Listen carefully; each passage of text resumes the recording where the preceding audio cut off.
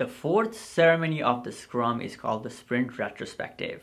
Just like it sounds like, it's we're looking at the sprint and we're looking at the retrospective.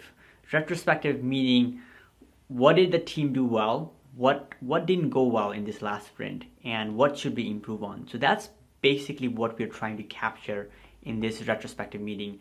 And this is a two hours meeting for a four four weeks sprint and it could be a one hour meeting if it's a two week sprint. So Scrum Master is the one facilitator who sets the stage for the team. Again, creates this safety container where everybody feels empowered to talk about not only the good things, but also some of the bad things or some of the challenges that are happening within the team member or some conflicts that team members have. Now, the next step is gathering data like, okay, what happened in this last iteration of the sprint? What are some challenges that you saw? And everybody will collect data. What happened? You know, what, what can we learn from um, this last sprint? And after everybody collects, okay, these are some of the things that happened in the last sprint, then it's time for the team to generate some insights. Okay, like why did this happen? What happened? Let's learn more on like the depths of challenges or the or the problems that the team had. And after they have a good amount of insights, they actually decide on how they want to go about and improve that. So this is an opportunity for team to have a learning action plan. So despite of what happened in the sprint, the team members walk out with a clear plan on what they're going to do and how they're going to improve.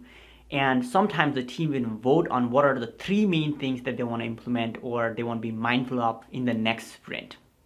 Retrospective, you're doing it every two weeks or three weeks, and sometimes just asking those three questions what went well this sprint, what didn't go well, and what should we improve? Those things can kind of get old. And I think it's important for teams to kind of change things up a little, little bit. I've done things like taking team out on lunch and doing a lunch retro where it's a little bit light touch, more for conversational retro, and we come up with a few, just a few items on how we want to improve. One of my favorite ways to facilitate a retro is to do a sailboat retro.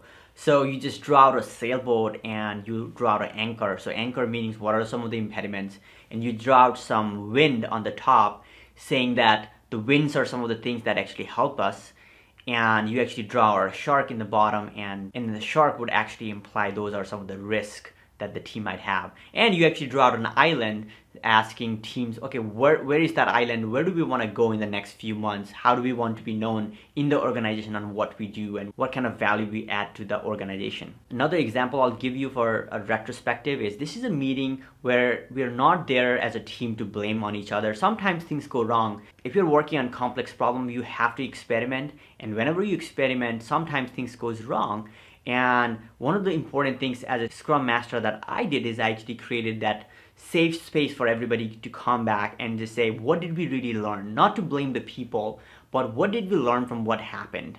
And what can we do to improve so that these things don't happen and we make that person recognize the mistake that he made, but it's nothing personal. It's something that we all learn as a team and we move on.